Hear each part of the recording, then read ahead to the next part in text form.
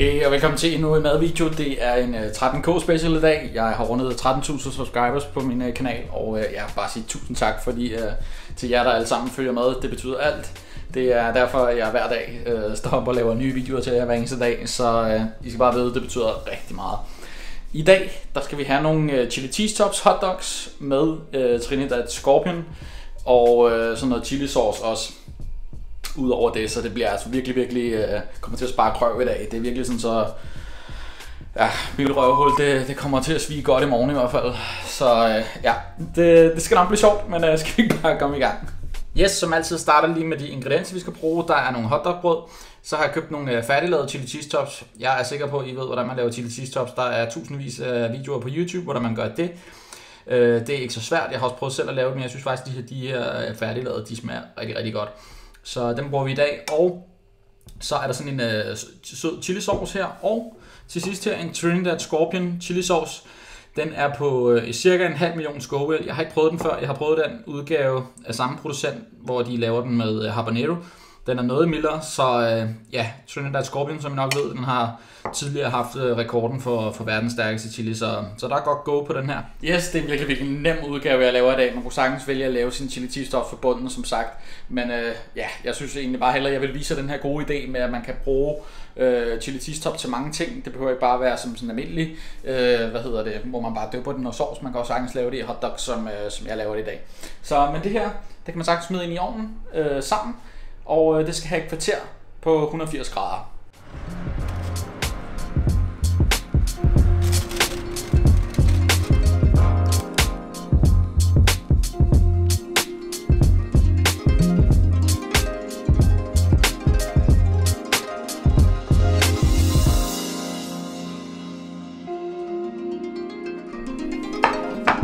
Sådan der, så blev det færdigt. Det tog et kvarter, som sagt. Og øh, ja, så er det bare at komme i gang med at lave den.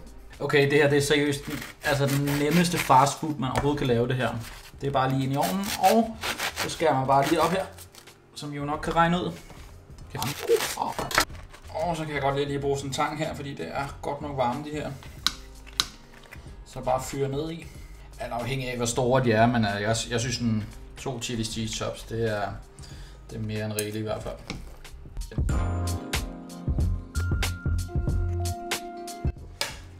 Sådan der, og så skal vi have lidt øh, sovs i. Og jeg kan godt lide sådan en, øh, hvad hedder det, en chili sauce her, sweet chili sauce. Man kan også bruge noget barbecue sauce. Det overvejede jeg også, øh, inden jeg skulle lave dem. Men øh, i dag der bliver det altså med sådan noget her. Og det vil man hælde ud over, ligesom hvis det var en hotdog. Sådan her sådan noget. Man kan få den i, øh, i øh, hvad hedder det, menu. Den koster 15 kroner. Det er ikke fordi det skal være nogen reklame, men øh, så ved I hvor man kan få den hen vi skal, man skal være sådan rimelig sparsom med den, fordi jeg ved, den lille søsteren, som er habanero, den er altså også altså, ekstrem, når man prøver på. Så øh, yes, men nu er det blevet tid til at smage på det.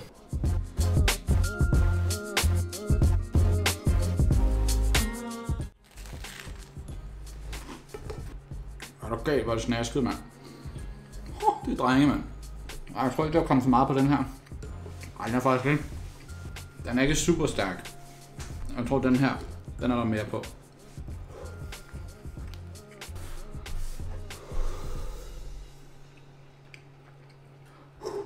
Okay, der er rimelig smæk på. Jeg synes ikke klart, at man burde sælge sådan nogle her pølsevogne. Jeg forstår ikke. Det er da super oplagt. Alle elsker chili cheese tops. Hvem elsker ikke hotdogs? Så jeg synes, det er en god kombination. Ja, jeg, jeg kan i hvert fald godt anbefale det, og øh, eventuelt lave det selv for bunden. Nu har jeg været lidt øh, drengerøv i dag, og så bare købt dem færdiglavet. Man kunne sagtens have lavet dem selv, som sagt. Så, men jeg har ikke mere til jer. Tusind, tusind tak for de øh, 13.000 subscribers. Det er jeg sindssygt glad for. Og øh, jeg glæder mig bare til at lave endnu flere videoer til jer. Jeg har ikke mere til jer. Vi ses i morgen. Ha' det rigtig godt. Hej.